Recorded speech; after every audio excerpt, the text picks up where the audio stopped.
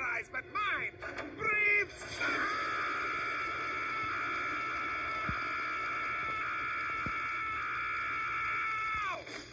That was a stupid design. What a moron!